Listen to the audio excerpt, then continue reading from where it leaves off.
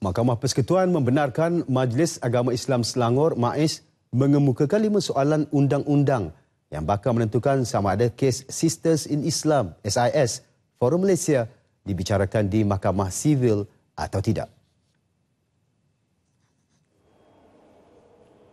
Ketua Hakim Negara Tan Sri Mat Raus Sharif membenarkan permohonan mengemukakan soalan undang-undang di hadapan tiga panel hakim iaitu Presiden Mahkamah Rayuan Tan Sri Zulkifli Ahmad Makinuddin, Hakim Mahkamah Persekutuan Datuk Sri Abu Samah Nordin dan Ketua Hakim sendiri Tan Sri Mat Raus.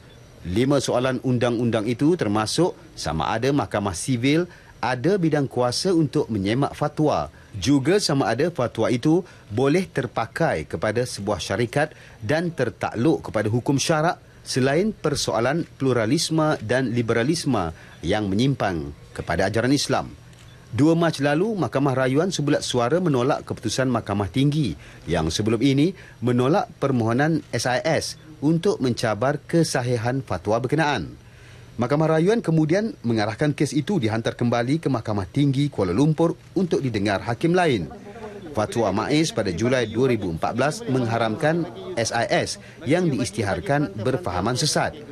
31 Oktober 2014, SIS kemudian memfailkan semakan kehakiman mahu membatalkan pengisytiharan itu.